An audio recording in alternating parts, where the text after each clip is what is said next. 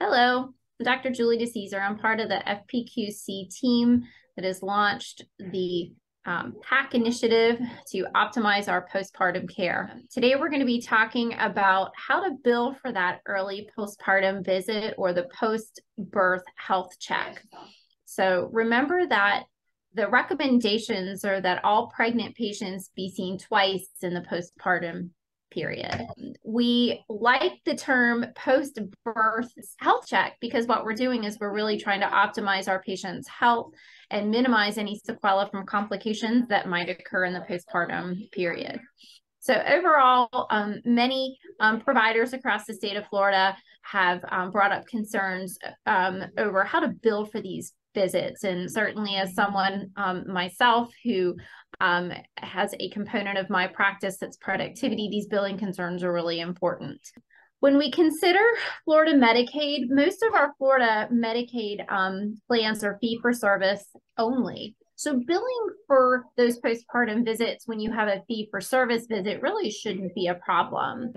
In addition, if you have a patient with a problem in the postpartum period, so for, say, for example, she, she presents with some um, postpartum depression, you can bill an E&M service code um, based on management of depression. In addition, if she needs to discuss contraception, there is a code. You can bill a E&M code for, um, you know, encounter for contraceptive surveillance or a new prescription. Aetna and Molina are global reimbursements with some exception, and then Humana does have some global obstetrical um, reimbursement, does but also does more of a fee for service model.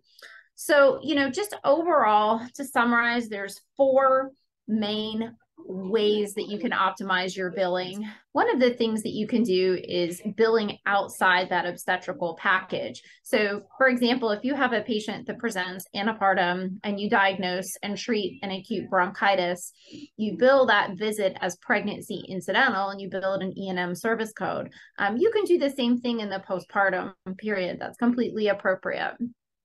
Another thing you can do, and this is what I tend to do on my global OB packages, I end the global period early. Um, so that first visit I'm billing is that global visit, and then that second visit I'm billing outside that global package.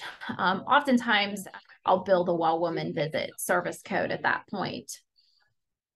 Another option is you can, if you're worried about bumping into some insurances have a requirement. For example, you can't do a well woman exam within so many months of a birth. What you can do is schedule that second postpartum visit outside of that six week um, period so that you can capture that reimbursement.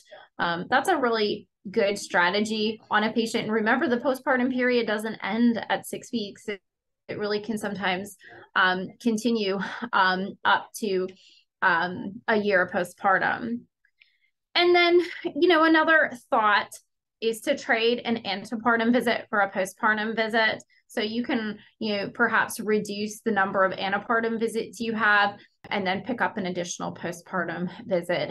Um, sometimes I find you know the visits when i switched to two you know for at 28 weeks every two weeks um, depending on the week and timing. Sometimes we see those patients every three weeks or potentially space out a visit in their in the first trimester.